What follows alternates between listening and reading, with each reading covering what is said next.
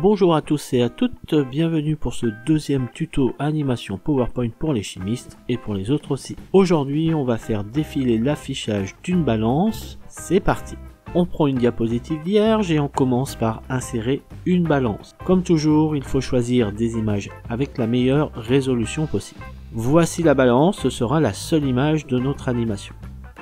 Pour la suite, on va avoir besoin de plusieurs zones de texte avec différents textes à l'intérieur. Ce sont ces zones qu'on va afficher puis masquer successivement pour donner l'illusion de la pesée en direct.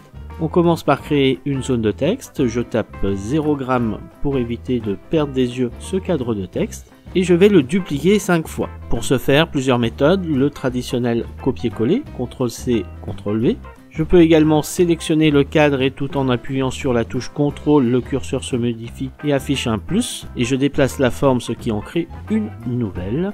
On commence à avoir plusieurs formes. On va activer le volet de sélection, soit dans le ruban accueil organiser volet sélection, soit quand une forme est cliquée sur le ruban de la forme et volet sélection. Également possible le raccourci clavier Alt plus F10. J'ai donc mon volet de sélection, je vais en profiter pour renommer les différents objets. Je double-clique sur le nom de l'objet et je peux alors le modifier et mettre des noms explicites que je pourrai ensuite plus facilement retrouver. Maintenant que j'ai donné des noms explicites, je vais modifier les valeurs des masses dans les cadres de texte. Il faut ensuite rassembler toutes ces zones de texte en les alignant. Je les sélectionne toutes, soit au lasso, soit en cliquant sur le nom des formes que je veux sélectionner et en appuyant en même temps sur la touche CTRL. Puis, via l'icône Organiser et le choix Aligner, je vais aligner toutes les formes horizontalement verticalement en choisissant centrer et en choisissant aligner au milieu. Toutes mes formes sont les unes sur les autres, c'est ce que je voulais. Je les déplace sur l'afficheur de la balance. Voilà, je suis prêt à passer à la partie animation.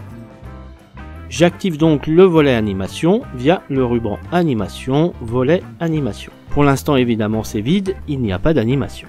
Comme je l'ai dit au début, l'idée est de faire apparaître les formes successivement puis de les faire disparaître pour qu'on voit l'affichage s'incrémenter.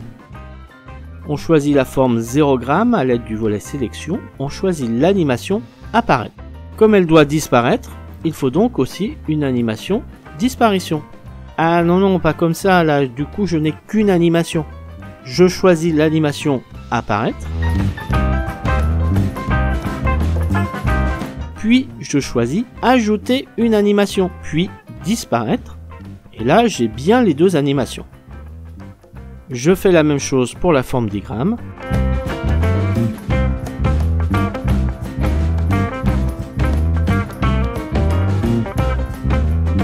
Je peux également sélectionner les quatre autres formes dans le volet sélection, puis je choisis l'animation apparaître, puis je choisis ajouter une autre animation et je choisis l'animation disparaître.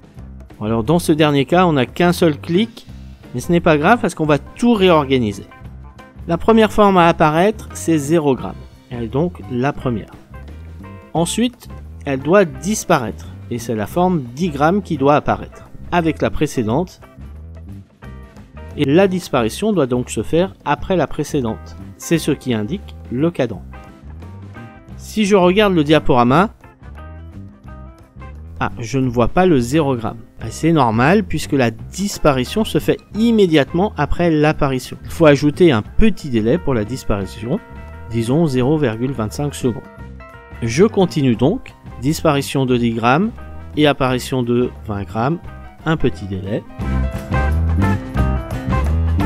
puis disparition de 20 grammes, apparition de 30 grammes, un petit délai, etc. etc.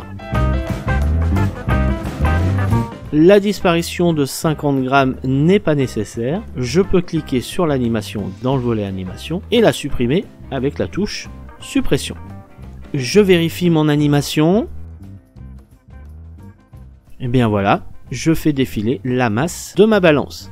Alors bien sûr, on peut améliorer, agrandir la taille du texte, changer la police de caractère, mettre un habillage en arrière-plan. Finalement, la seule limite, c'est votre imagination. Merci de votre écoute, à bientôt pour un nouveau tuto animation PowerPoint.